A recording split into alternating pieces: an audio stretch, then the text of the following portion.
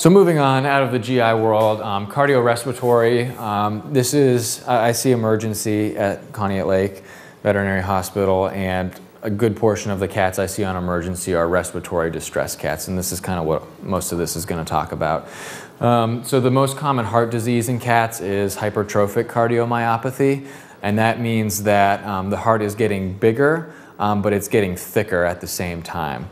So um, you may have heard of like dilated cardiomyopathy. The heart gets bigger, but the chambers get uh, large, but the walls get thin. So with this disease, the walls get really thick, really muscular. That's what hypertrophic means. And as a result, the heart chambers get smaller. So with each squeeze of the heart, less blood gets pumped out to the system. And that also creates a lot of turbulence within the chambers of the heart, which promotes clot formation. And so those clots can get shot out to the body as well. Um, there's a, a, big genetic component to this, uh, like Maine Coon cats. Uh, a good portion of, of them end up with this disease, but we see it in every type of, you know, regular just domestic short hair cat, whatever it may be. Um, so there's other factors involved as well. Clinical signs are usually, by the time we see it, respiratory distress, unless like a murmur or something has been picked up on a physical exam previously, most owners don't really notice anything. And cats with this don't always have a murmur. So just because there's not a murmur doesn't always mean it's not there. So these cats, you know, typically come in difficulty breathing, uh, maybe open mouth breathing, sometimes blue gums, blue tongue, that type of thing. Um, like I said, sometimes we'll notice a murmur or arrhythmia. You may notice like weight loss at home, just like in people who have ongoing heart disease. It pulls a lot of extra resources from the body. Um, and then, like I said, we might not notice anything until they kind of break with a, a cardiac failure situation. Um, so diagnosis for this um, is an echocardiogram to look at the heart, uh, evaluate the thickness of those chambers and the walls um, x-rays to look at, again, the size of the heart, but also is there any fluid in the lungs from failure or fluid around the lungs from heart failure that's going on.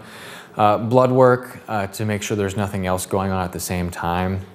A lot of times we see um, kidney disease in these guys just from changes that go on in the heart affects the kidneys and vice versa. Um, and then we can see uh, changes in the body elsewhere from the heart not working, not getting poor perfusion to the liver and kidneys, that type of thing. And then uh, an electrocardiogram or ECG uh, to help us evaluate the contractility of the heart um, and some of the electricity moving through it. Um, treatment, um, a, kind of a grab bag of various heart medications depending on, on what's going on. Those are usually geared towards slowing down failure, so getting some fluid out of the system and slowing down the changes that are happening within the heart, some of the structural changes that are happening with this disease. Um, diet change is very important, so getting uh, like low sodium foods, um, so there's less strain on the heart from that extra salt being there, again, similar to people. And then supportive care, you know, so um, fluids if they need it, uh, cautiously, of course, um, pain medications, that type of thing. Another common presentation for these cats, which I didn't mention, is um, paralysis of the back legs. We call this a saddle thrombus. So remember how I said uh, with that heart not working well, we get clot formation. So a lot of times those clots uh, will go out of the heart through the aorta and get lodged like right here where the, the blood vessels for the legs split off and so the, the back legs don't get any blood flow. Uh, and so they become acutely paralyzed in the back legs, and it's very painful. Um, so they're typically, you know, crying, um, you know, trying to get around on their front legs. That's a, another common presentation with this. Um, so some x-rays here for you. On an x-ray, air is black, like here outside the cat. Dense things like the bones here and the spine are white, and everything else is a shade of gray in between. So on the left here, we have a normal cat chest. Um, so this is the heart here within this black triangle, which is the lungs because they're filled with air, so they're black. So this is a normal sized heart. If you count rib spaces, that's roughly, you know, like two and a half, three. If we look at this x-ray over here, this is a cat with hypertrophic cardiomyopathy. Can you see how big the heart is here compared to that one? Um, and then can you appreciate how it's not quite as black here and here as it is on that film. That's because there's fluid in the, in the lungs uh, from heart failure. So that's what we're looking for on x-rays. Uh, pleural effusion, this is another thing that really isn't a primary disease itself, but is secondary to something else, um, but is a very common cause for cardiorespiratory problems in cats. See it very frequently on emergency. And this is where there's fluid in between the chest wall and the lungs. So there's a little space there, and normally there's just a very scant amount of fluid for some lubrication. But pleural effusion is when there's way too much fluid in there. This fluid can be just kind of water, it can be like a milky fluid from the lymph ducts, it can be blood. Um, there's a variety of causes, heart failure, um, masses, uh, like feline leukemia, FIV, but all of them are bad, essentially. There's nothing that's a, an easy, quick fix that causes pleural effusion. Um, Clinical signs are usually respiratory distress because those lungs are squished, so they can't, you know, fill up with a lot of air with each breath, so they tend to be breathing really rapidly, maybe open mouth breathing, have blue gums. Um, we diagnose it via x-rays and or ultrasound. Um, the treatment is immediate removal of that fluid because that's going to make them breathe easier, regardless of the cause. You know, sometimes we don't know that right away, but we know there's fluid there. If we can get the fluid off of the chest, they can at least breathe easier and be stable while we try and figure out some other things. And then, of course, treating the under, underlying cause. If it's you know heart disease, that has a little bit, bit better prognosis than if there was like a mass in the chest or a bleeding disorder or something like that. But um, so here's another x-ray. Uh, so remember the previous image, all the black air-filled lung that we saw before? On this cat with pleural effusion, these are the lungs right here that were taking up all of this space. So all this gray stuff that's filling where the black was in the previous image, that's fluid, and the lungs are squished down uh, into just that little bit of space. So you can see the amount of space they should be taking up with each breath, but that's the only space they have because there's so much fluid there. Um, this right here, this big black spot, that is the stomach. So this cat's been in respiratory distress trying to breathe, so it's swallowing a lot of air and it's all going into the stomach. The last um, cardiorespiratory thing we'll talk about is uh, upper respiratory tract infection. We kind of touched on this already the bulk cause of this is all of those things that we vaccinate for in that FVRCP vaccine. So herpes virus, calicivirus.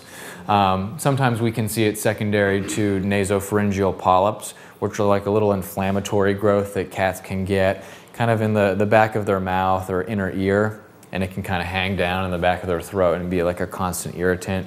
Usually you'll hear some like weird noises when they're breathing, like they're snoring almost with that. Clinical signs of the typical upper respiratory tract infection are sneezing, coughing, discharge from the nose and eyes, and um, oftentimes inappetence or anorexia. Cats are notorious um, for if they can't smell, they won't eat. Um, you, we can have a cat come in who hasn't been eating for a week because it's had nasal discharge. We clean off the nose and they go to town on some food that we put in front of them. So if, if there's discharge on the nose, if there's something blocking the nose, I promise you the cat will probably not eat. They, are very uh, smell uh, driven when it comes to eating. Um, so diagnosis uh, for this is basically just the clinical signs and the history. If it's a stray kitten that came in and has discharge from the eyes and the nose and it's sneezing, it's an upper respiratory tract infection. Um, in an older cat, you know, we can see some of those signs with, uh, you know, like masses in the head or nasal passage, some other things like that. Um, but if the history supports it, you know, that's, it's pretty straightforward typically. Um, because the cause is usually one of those viral diseases that just hang out in the system long term, we usually, our, our treatment is usually geared toward the secondary infections that happen. So let's say it's a herpes virus in, in a cat and it flares up um, the herpes virus causes some problems in itself, but the main problems, all the discharge and stuff that we see, is usually from secondary bacterial infections. So we usually put these guys on an antibiotic to kind of clear that up while their body can do its job and kind of quiet down the virus. In a lot of these cats that have long-term reoccurring infections, we can try some antivirals. There are some that we can use that aren't too expensive, and some studies show that they're pretty effective. Um, but a lot of the ones uh, that are strongly effective are, are, just very cost prohibitive and don't always work. So it's it's not usually a good What's option. That one on, is it lysine or something? Lysine, yeah. that's a, uh, an amino acid, and it's a supplement. And um, it's kind of controversial. About half the studies say it works, half the studies say it don't. Um, but those that do have found that this amino acid slows down the replication of the herpes virus. So it's not getting rid of the herpes virus, it's not destroying the herpes virus, but it's uh, basically decreasing how much herpes virus there is in the system. And that's, uh, that comes in like little treat forms. You can buy it at GNC, at Walmart in a powdered form and sprinkle it on the food. I think it's like 500 milligrams per cat per day. Um, it, it's safe to use, doesn't really have any side effects. It's something that's in their diet anyway. We're just giving a little bit extra. And then supportive care for these guys. So keeping the nose clean, um, nasal saline drops if we need to, um, high quality food to get some energy into them, that type of thing. So this is a little kitten with upper respiratory tract infection. You can see the discharge from the eyes here, the discharge from the nose. He's been coughing, sneezing. It's like a, a mucousy pus type of discharge, very classic for that. Um, if we look at his eyes, his third eyelids are up, and that's could be related to um, some ulcers in the eye, which we'll talk about in a little bit. Um, but like the herpes virus can cause some ulcers too in the eye, not just all respiratory stuff. So that all kind of goes hand in hand. Uh, urogenital, um, this is probably the biggest one, chronic kidney disease. Um, basically, if a cat lives to be old enough, it's probably going to get this. Um, it's degeneration and loss of kidney function. Uh, as the kidneys degenerate, they fill up with scar tissue. Scar tissue is good for filling in space, but it doesn't really do anything. So it's not a functional kidney tissue. Um, and so the causes are multifactorial. There's genetic component to it. Um, there's question as to um, the diets we feed, if that fills into it, you know, using like dry food all the time versus wet food that has more moisture, um, all sorts of ideas as to what causes it, but very, very common.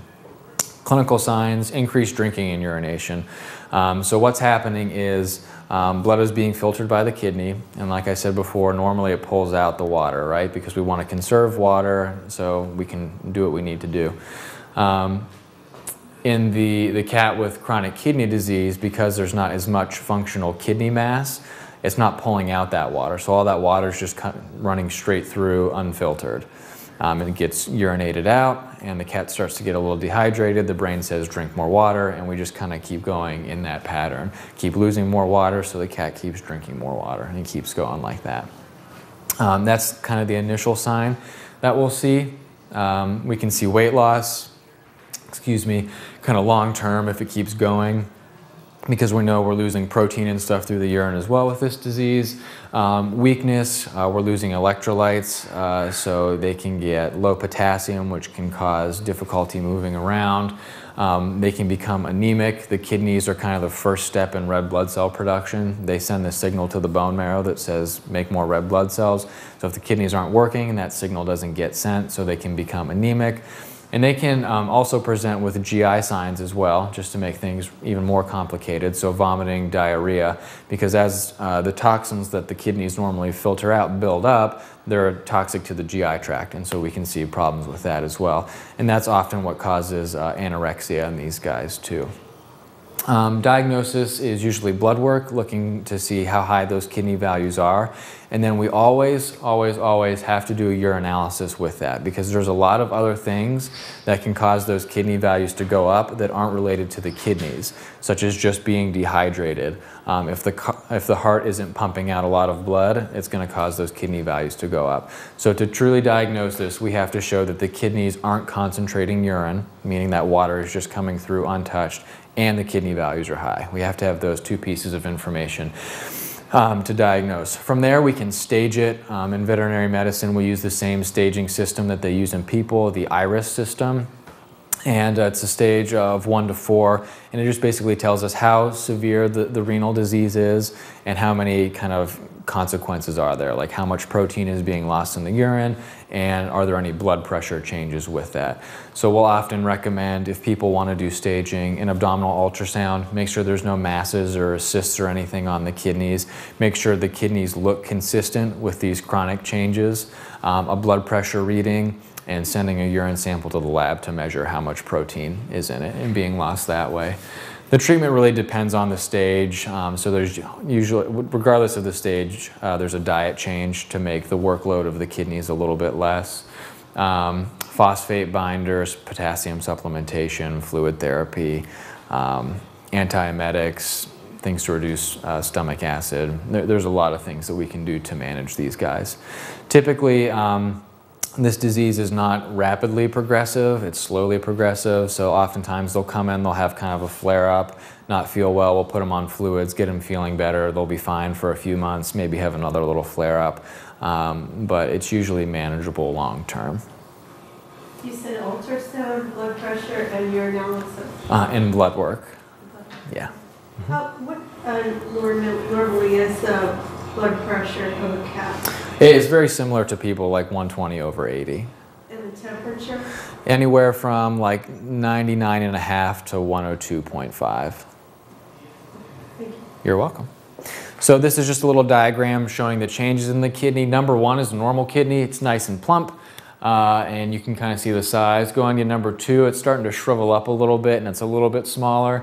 And then number three, this is where we really start to see the efficacy of the kidney change. It's all shriveled up and bumpy and it's very small. That kidney is not doing much work. Uh, another common thing, lower, lower urinary tract disease in cats, two big causes, stones, so like bladder stones, um, or what we call feline idiopathic cystitis. Um, the stones are kind of more straightforward. There's extra calcium, extra phosphate, infection or something in the urinary tract that causes precipitation and formation of those stones. Um, those stones themselves can get lodged in the urethra, especially in a male cat, and cause them to be blocked. You may have heard of that before, and that's a, a medical emergency if they can't urinate. Um, the feline idiopathic cystitis, again, kind of going back to some of these trends that we're seeing today, is one of these unknown inflammatory conditions. It's usually in very high stress cats, and there's some interplay between kind of the stress hormones and the immune system that causes inflammation in the bladder and excess production of kind of mucus. And they can get mucus plugs that can also get stuck in the urethra and cause them to get blocked, both of which are an emergency. So clinical signs of this is difficulty urinating, bloody urine, um, small but frequent urinations, vocalizing, looking at the genital area. People usually come in and say, you know, he's been spending all day in the litter box just crying. That's kind of the typical presentation. Um, their belly can be tense because their bladder is getting fuller and fuller because they can't urinate. Diagnosis is um, blood work, urinalysis, and usually some combination of imaging, whether it's x-ray or ultrasound, uh, to see what's going on there. The treatment, if it's stones, is surgery to remove the stones and then typically like a diet change to prevent them from coming back.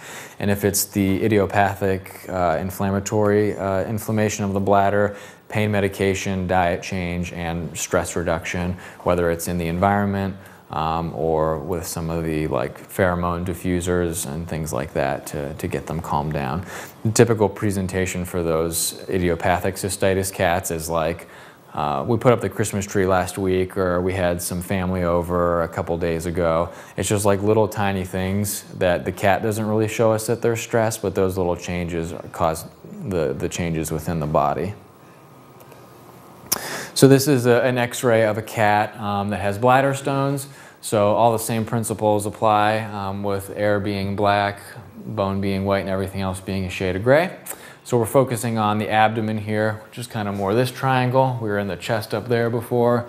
So this little slightly gray uh, balloon here is the bladder. And then do you see the white speckles in the middle? Yeah? Uh, those are the stones. Um, and they show up white because they're really dense like bone. Um, skin, uh, one of the more common things we see is flea allergy dermatitis. This is an allergic reaction to flea saliva, and cats with this allergy only need one bite from a flea to kind of really set them off systemically. So clinical signs, itching, scabs, little pustules throughout the hair coat. We can see hair loss often over the base of the tail or the lumbar spine area, and then obviously fleas or flea dirt.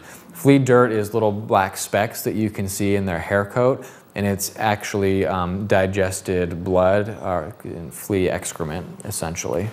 If, you, uh, if you're ever unsure, you can take a comb, brush them, get some of the specks, put it on a paper towel, wet it down, and squish it and if it's flea dirt, it'll turn red because it's digested blood. If it's just regular dirt from being outside, then it will stay black brown. Um, the treatment is uh, pretty straightforward. Antibiotics to clear up the skin infection that's there, steroids to shut down that allergic response that's happening, year-round flea prevention, which we recommend anyway, um, and then prevention for other uh, animals in the house as well. Because you could have flea prevention on the, the cat with the allergy, but if another cat isn't on prevention and has fleas, just that one flea could still jump on, get a quick bite in, and then die, uh, but still cause the, the allergic flare-up. And treatment of the house if that's needed. Uh, flea prevention Mhm. um, advantage, Mm-hmm. she gets sick on it.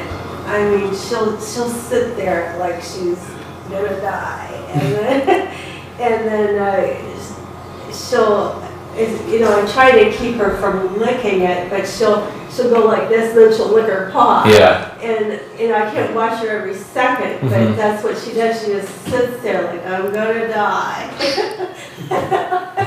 Um, so there's uh, Advantage is good, not for her. Um, Frontline is another good one. Uh, Revolution is a, a different type. And then there is um, a new generation of flea collar out there. Typically, you say flea collar, and people are like, "Oh, no, not a flea collar."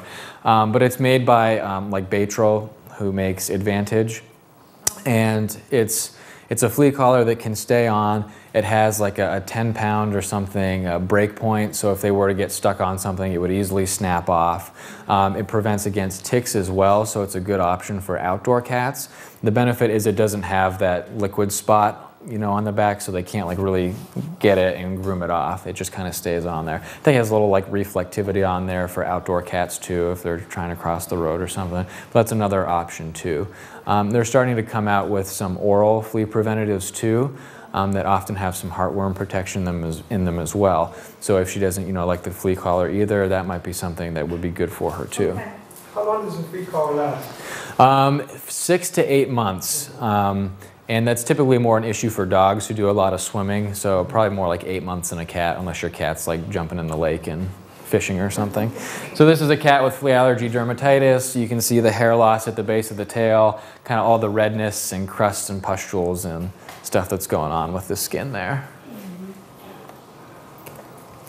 Um, talk about eyes. Uh, very common thing is corneal ulcers. The cornea is the clear part of the eye that's kind of right out in front. Um, it's basically a thin layer of modified skin. You can kind of think of it that way. And an ulcer is a defect in that. So that layer has been compromised uh, in one way or another. It can happen for a lot of reasons, like infectious causes, like the herpes virus that we talked about, trauma. So cats running through the brush gets a seed in the eye um, scratch from another cat, that type of thing. Very, very, very painful. Um, remember, cats are stoic; they don't always show their pain well. But this is uh, like the gingivitis, you know, a very painful condition. Um, I had one myself once, and I can attest that it is not fun. Um, so clinical signs are tearing, squinting, discharge from the eye, uh, redness around the eye, redness of the white part of the eye, like lots of blood vessels coming in. You might notice um, if it goes on for a while that the front of the eye will become hazy looking or blue looking. Um, and sometimes if it's a large defect, you can even see like that crater or something in the cornea. Uh, diagnosis for this um, is a staining test called a fluorescein stain. And that's a, a little stain that we put in the eye. And we use a, a special light uh, to shine it on there. And that stain only um, sticks to the deeper layers of the cornea, not the surface. So if there's any defect, it'll stick to it. We shine our light in there and it glows this pretty yellowish green color. Um, sometimes we'll recommend some other tests at the same time, like a tear test uh, to make sure there's no tear deficiency and that's what's causing the ulcer. Ocular pressures for like uh, checking for glaucoma.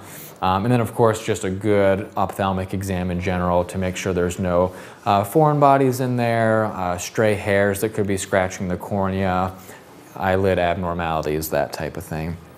Um, the basis of treatment is antibiotics uh, like drops in the eye, sometimes systemic oral ones as well, depending on how severe it is. Uh, pain medication, because it is painful, an e-collar so that they can't bump their eye on anything else or paw at it.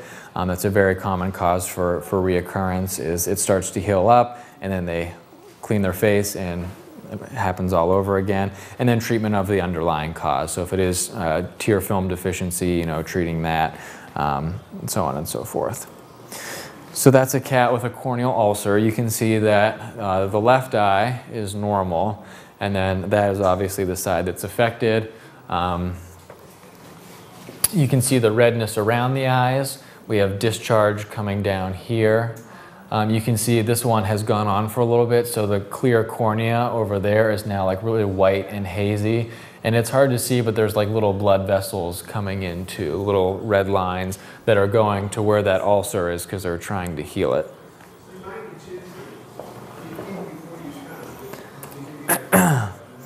Um, musculoskeletal issues, I'm just going to touch on arthritis uh, because this is a very common thing that's overlooked a lot.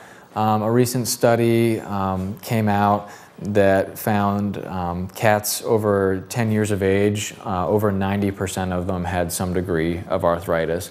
And that makes sense. Older people have arthritis, older dogs have arthritis. Why is it overlooked in cats? I think it's because they hide their pain uh, better than other species. Um, so the clinical signs are very subtle. So it tends to be a change in the cat's routine. They're not jumping up on their favorite windowsill. They're not getting on the back of the couch. They seem to hang around downstairs more often versus than walking up the stairs. Um, they're not, you know, jumping or playing with a certain toy that they used to love. Really subtle things like that. Um, and uh, again, it's inflammation, so it's painful. So I think uh, a lot of people say, you know, oh, like yeah, he's not doing as much, but I don't think he's in pain. Well, if, if he wasn't if he wasn't in pain, he would still be doing all of his normal things. Um, is how I tend to think about it. And so uh, diagnostics for this, physical exam, you know, just manipulation, seeing how the joints move, can we feel any grinding or anything like that, and then x-rays to, to look for actual arthritis that's needed to confirm. Treatment is pain medication uh, and anti-inflammatories to help with that joint supplementation uh, like glucosamine chondroitin like people take just to kind of help promote healthy joints and keep things happy that way. Uh, laser therapy, weight loss, and physical therapy, and nothing too intense. It's stuff you can do at home like massaging, um, some passive range of motion where you extend the legs and then flex the legs. It's nothing, you know, really in depth. It's something that can easily be done at home. It feels good for the cat. They like the extra attention, and it, it makes them feel better too. and this decreased uh, jumping, mm -hmm. um, she's only four, but um, I believe that she has trouble with, uh, if I get her going with that, with a wand, you uh -huh. know, uh-huh. the feathers on it, she will jump really high once or twice, and then she goes down. And I've discovered that when I'm trimming her nails, I flip her over on her back, mm -hmm. and she usually just goes through, you know, and there and she'll let me cut them and file them. But if I go this way with the file instead of this way, uh-huh. she'll cry. And I noticed her her nails are all split, mm-hmm. like they're flaking mm-hmm. apart, and um, the carpet is like Berber. So when she, I think when she comes down on it, they might, you know, yeah, yeah, turn or something, and then mm-hmm. she doesn't want to jump anymore. But is that normal for cats to have nails like that? Well, the um, there's a couple things. The nail kind of grows out like this, like all the fibers come like this. So when you're filing this way, you're kind of going with that natural grain. When you come side to side, that's coming against it. And so that can kind of promote like some of the brittleness. So if you can go like up and down, just like with the grain, and that might help with that. Um, the brittleness, you know, sometimes like a vitamin E supplement, like a fish oil on the food, can help with like skin and nail strength, that type of thing. Okay. Um, and what was the other part of your question? That was it, the Okay. Yeah, and then you know we do see arthritis in younger animals too. It's often like really active, like hunting dogs or something, where they start to get some arthritis in the, in their wrists and things already. And so it certainly is possible for younger animals to have arthritis, you know, after some high impact events that might flare up a little bit, and so she might not, you know, go as much. But um, typically, you know, we like I said, we do X-rays to kind of figure out if there is anything there. So this is uh, an X-ray here. This is a normal cat elbow on the left. So we have um, the humerus here, this bone, and then the two forearm bones here. And see this like nice black line that comes around like a nice circle? That's kind of the joint space there. And everything's really smooth and solid looking. And then we look at this joint over here. This is a cat with arthritis in the elbow. See all this extra bone production coming off?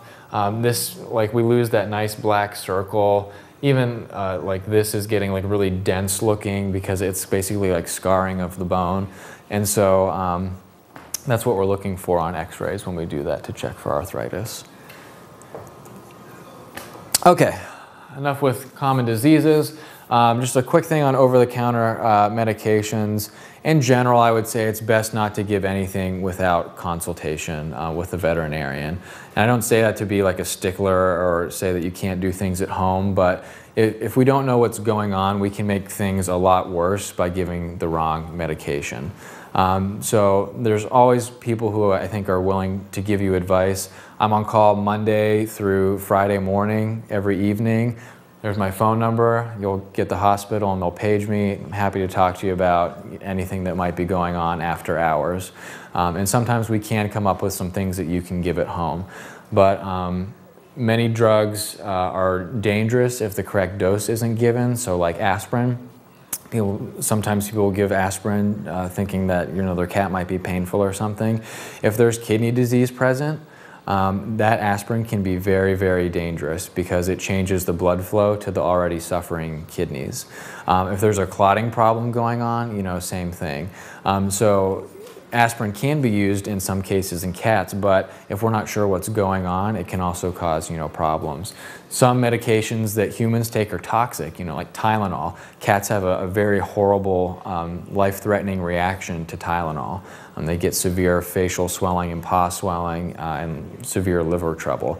Um, and so uh, I'm on call. There's the emergency hospital in Erie that's available after hours as well. They're always happy to talk to you. Um, About baby aspirin. I, I wouldn't do it unless we know like how the kidneys are functioning. Yeah. Typically, we do that um, for those heart disease cats that ha- are prone to clotting. Sometimes we'll do low dose aspirin.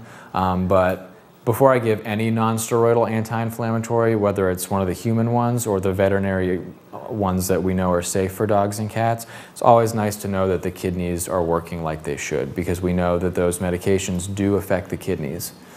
They affect the liver as well, but uh, it's more of a kind of a reaction type of thing versus a, a long-term change.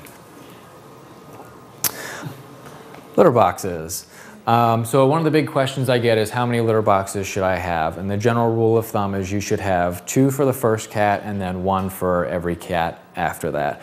So if you have uh, three cats in your house, you would want to have two litter boxes for the first cat and then one, two for the other two cats. So a total of four. So if you have six cats, you need how many litter boxes? You would need seven litter boxes. I'm way over that. And i- if you're ever unsure, more is better than too few. Um, I mean, it's kind of crass, but just think about people. You know, like when you go to the fair, like nobody wants to use that porta potty. Like it's just kind of nasty. Everybody's using it. It's it's overused. But like in your home, you have your nice clean bathroom, and it's it's all good to go. What Cats if, are. you have, what if you have less, but clean and more? Uh, it, it kind of depends on the cats. Uh, sometimes they'll still be totally fine with it. Uh, sometimes we run into problems where uh, one cat prefers, you know, like this litter box and the other one won't go in it. Sometimes they like to have their own like bathroom space essentially. So if you have less and they're doing fine, it might not be an issue. But if we start to run into problems like one cat just continually has a bowel movement outside the litter box, oftentimes adding that extra litter box in will kind of do the trick. Um, so size matters sometimes um, with large cats, whether just like big breeds like a Maine Coon or overweight cats. Sometimes they don't fit well in their litter box, and so they can't always uh, hit the litter. Uh, and so sometimes we see that as a problem, and so getting a, a bigger litter box often can help uh, with situations like that. And geriatric cats or cats with arthritis often have a difficult time getting into the litter box. So a common report that I get is like, you know, he goes over to the litter box, but then he just goes to the bathroom right next to it. Well, it could be because he's sore and he can't, you know, hop into it like he used to. So sometimes getting a more shallow litter box can help with, with things like that. And then, like you said, keeping it clean, you know, is, is one of the biggest things. You could have 20 litter boxes for two cats, but if they're all dirty, they're still not going to use them. So, you know, ideally daily cleaning of the litter box to get things out of there and just keep it uh, a nice environment. Should you just sift it to get it out, or how often should you change the whole thing? Uh, it kind of depends on how much use it gets, um, but you know, daily cleaning to get to sift it and get the organic material out of there, and then you know, like once a week or so if needed to actually change the litter if, it, if it's starting to get dirty. Um, another big point on keeping it clean is. Um, if it's a multi-cat household, cats can pass diseases to one another uh, like GI parasites. So if one cat has roundworms, maybe it's a new cat to the house, and the other cat's been dewormed and is on heartworm prevention, so we know it's not going to get reinfected with roundworm. But the new cat comes in and they share the same litter box. The the old cat could pick up that parasite from the new cat. So um, that's another reason it's important to keep it clean and, and keep up with fecal checks and everything like that. Can you tell by looking at the litter box if there's worms? Sometimes. Um, so the way that the, the parasites work is that they're, they're somewhere in the GI tract and then they, they shed at one point or another.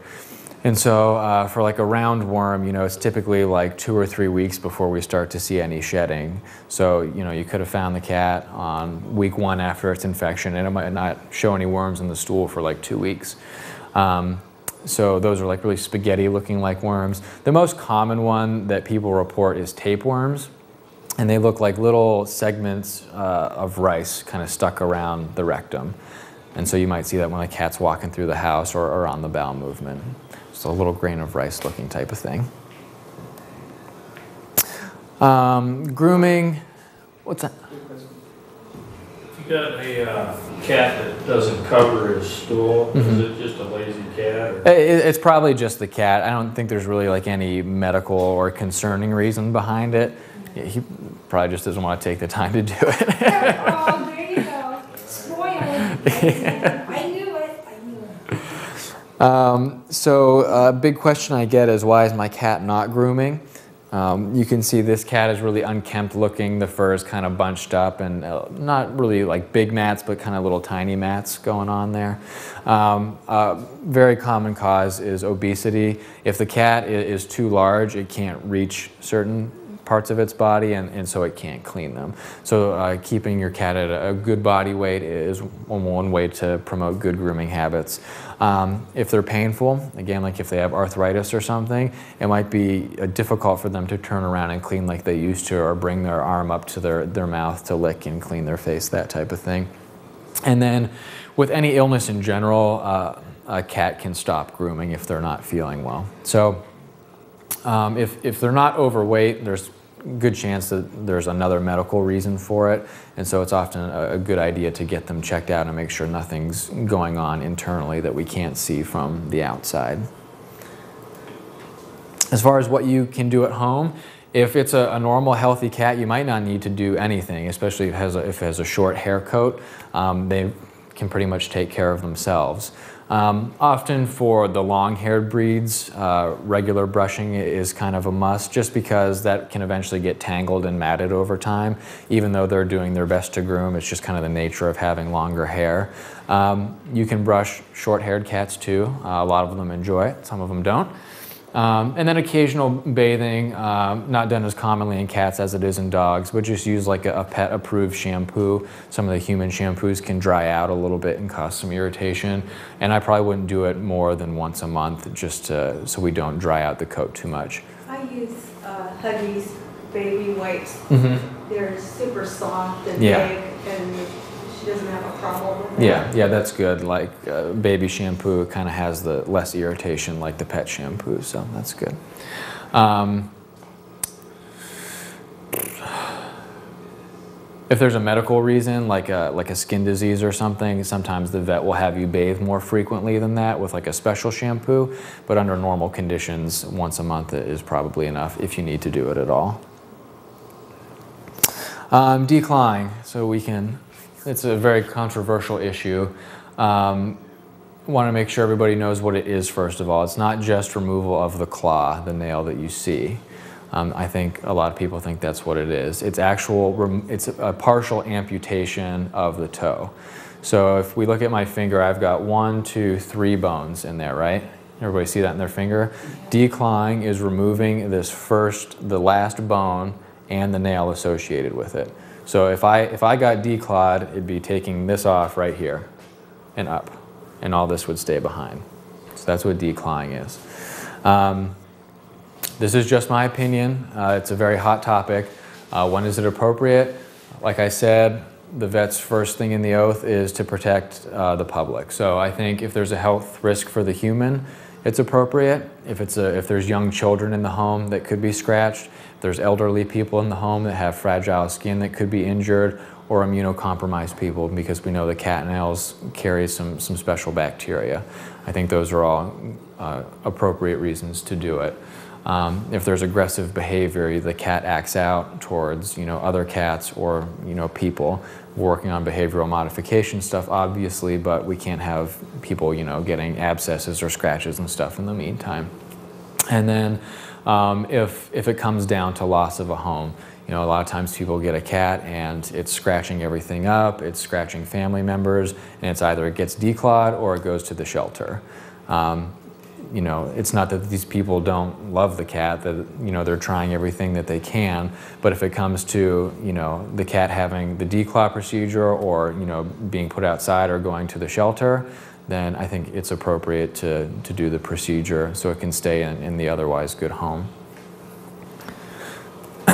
So, if the cat's part the outdoor cat, should you leave the claws If the cat is outdoor, I would leave the claws.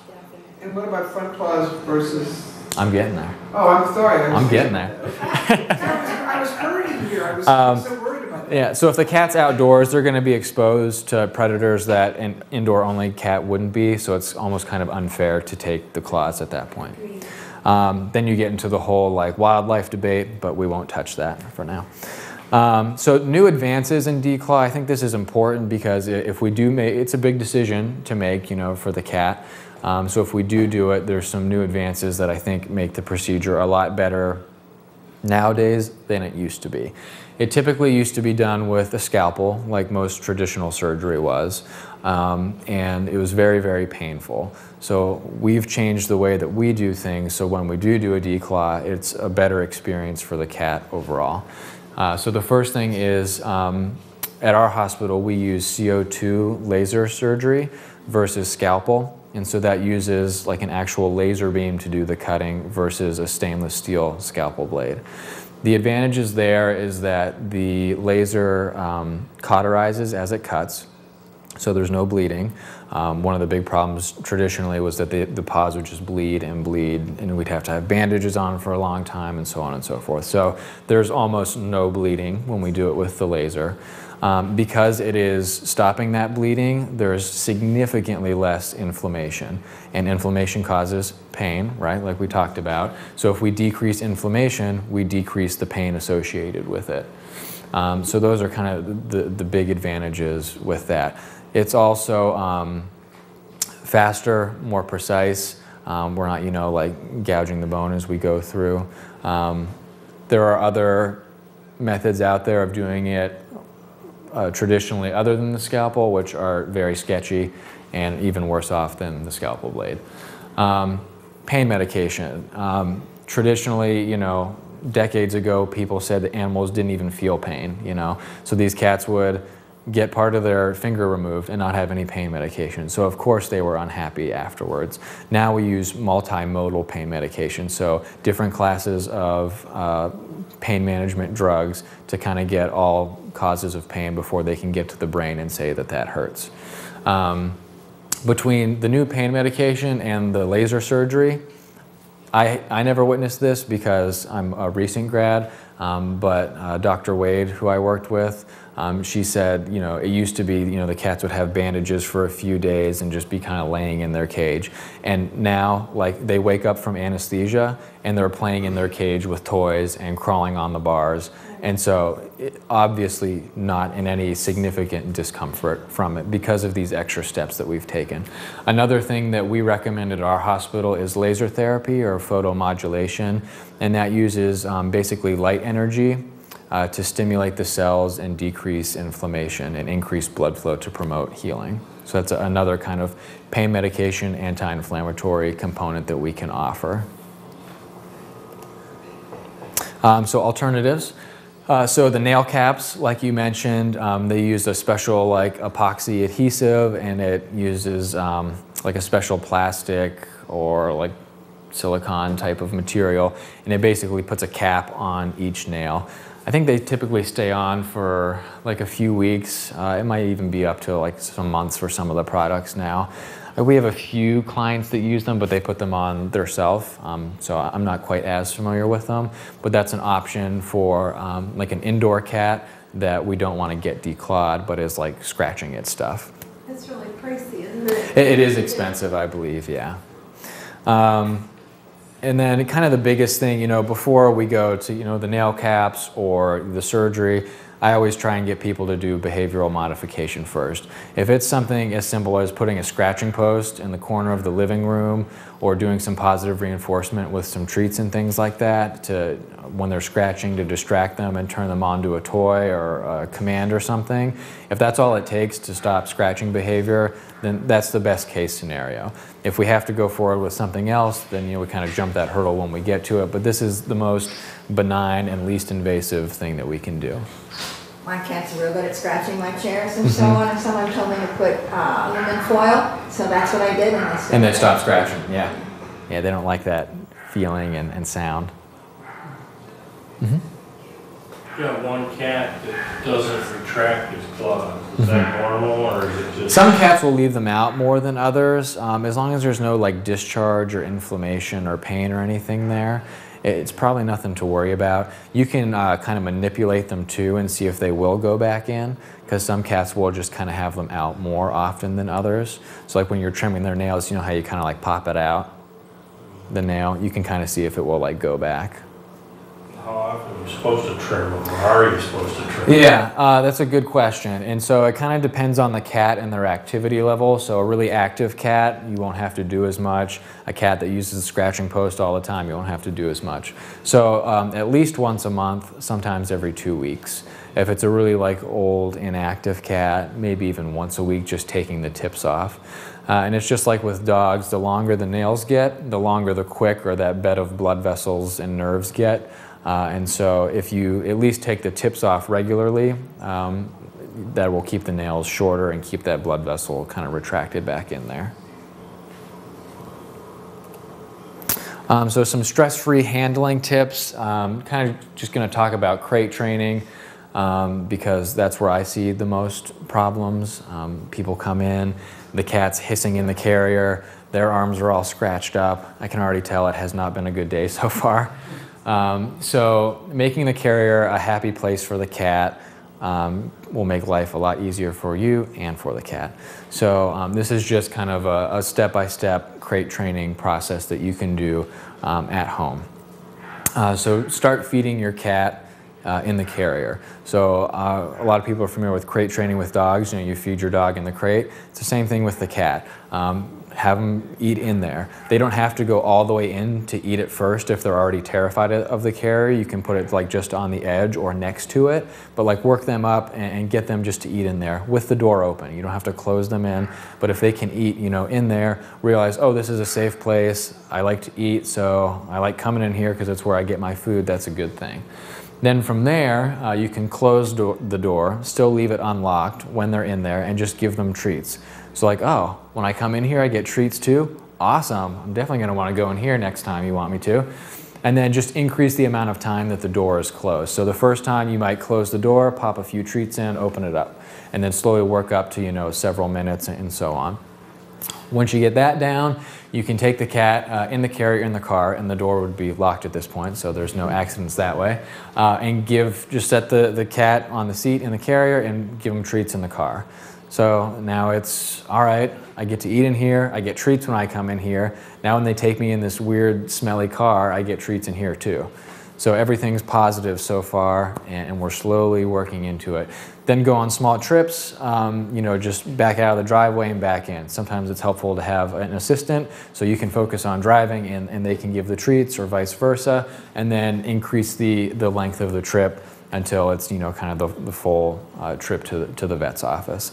That way, um, you get to the vet in one piece, and the cat isn't already stressed out and angry when I try to get it out of the carrier. So it's a win-win for everybody. Um, and it does work. It just takes some patience, and you have to be you know slow with it, just like training any animal to do any any trick or conditioning or anything like that. Um, pilling um, another area of stress for people. Uh, pill pockets, uh, made by the Greenies Company, I think are one of the greatest inventions of all time. It's basically like a little treat, and it's got a little pocket in it here.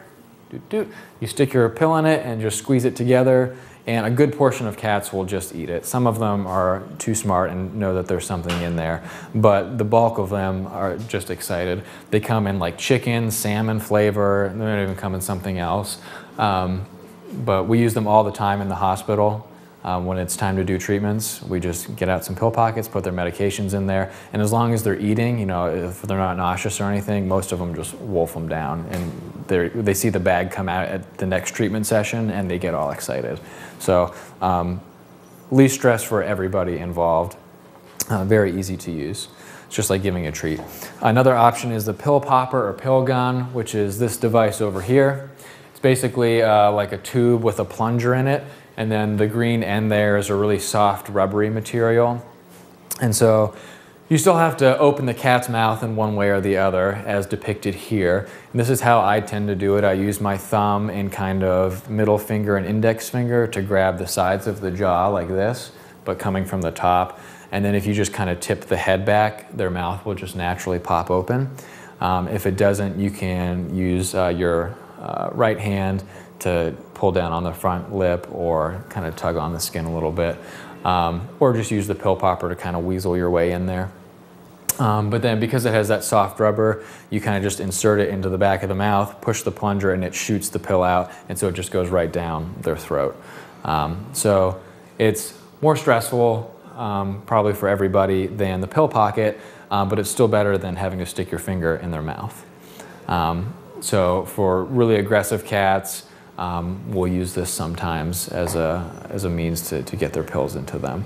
And because it has that rubber on there, you don't have to worry about like cutting the back of the mouth or causing any trauma or anything that way. And then the old fashioned way, um, which is scary for everybody. Just look at this picture, kind of cracks me up. Um, so you kind of hold the cat's mouth the same way, and then this poor dude just has his fingers right in there. Makes me nervous. Um, but that would be the other way is you open their mouth, you have your pill in your finger, and you stick it down the back of the throat. Um, lots of people come in saying they got bit doing things like that, so it has its health risks with it. It's the most stressful for the cat because your finger is a lot bigger than the pill gun even, um, and certainly more stressful than the pill gun. So here's all the resources for the pictures that I used. And are there any other questions? Oh, she drives me crazy um, some days of those days, we, she starts whining, that annoying whining. hmm And, uh, and it keeps getting louder and louder, so I jump up and I say, food, water, treats, we've got everything. And it gets on my nerves, so I'll chase her. Uh-huh. Drives me insane. I don't know why they do that, but she's doing it more and more. Yeah. Well, I, she, I think she has you trained a little bit too. and that's kind of her communicating, you know, like I'm hungry, I want my treats, yada yada. Um, sometimes they'll do that. You said she's 4 Sometimes they'll do that, like if they're sore or something. Probably not the case with her. It sounds like she's just telling you what she wants. We'll also see that um, in older cats uh, with dementia. Um, just like people, as, it, as cats get older, um, they get, start getting disoriented and people will describe, uh, you know, like, oh, like it'll be every day at noon, like my cat goes upstairs and he just starts yowling. And as soon as I say, you know, come here, comes right down the stairs and he's good to go. But if I didn't say anything, he would stay up there for hours just lost and yowling. And that's, you know, a common side of dementia. Or they'll, uh, like, oh, you know, she just goes and stares at the wall like all day, you know, so things like that. But oftentimes it's a lot of like vocalizing and things like that. So they'll just kind of like walk around in a room, uh, yowling, meowing, and then you're like, oh, come here, kitty, and she's good to go, but that type of thing. But that's, you know, much older cats. Can I ask a question about the clawing? Is there an age you should do that? And can, does it matter how old a cat It, it's preferable to do it when they're younger. So if somebody wants to do it, I typically recommend it when we're spaying or neutering, just because it's one anesthetic procedure versus two. Um, it's better when they're younger because uh, all of the tissues are kind of more delicate. So the blood vessels are smaller, the tendons aren't quite as thick. Um, you know, the bone is softer, so it's it's uh, much less stress, and there's going to be less inflammation than if we did an adult cat. And Can you do an adult cat? We can do it. You do them? I, yeah, from time to time we do. Um, like if it's somebody who adopted an, an older cat and is having some trouble, or um, it was an outdoor cat but they brought it in and it's strictly indoor, that type of thing. It's just that everything is kind of bigger and tougher at that point. It's the same thing, you know, with like neutering. Um, if you neuter a little kitten, uh, all the tissues and vessels and everything are really small and, and easy to do.